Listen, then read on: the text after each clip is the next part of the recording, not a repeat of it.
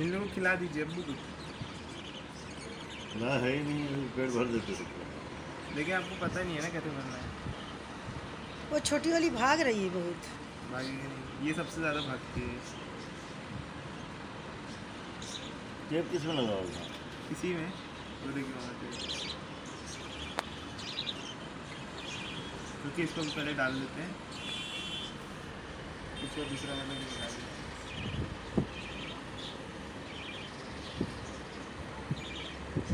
लगा दिया उसमें निकालेंगे ना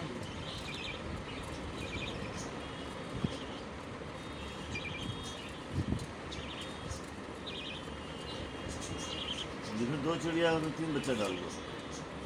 हाँ उसमें अच्छे से खिला पाते हैं।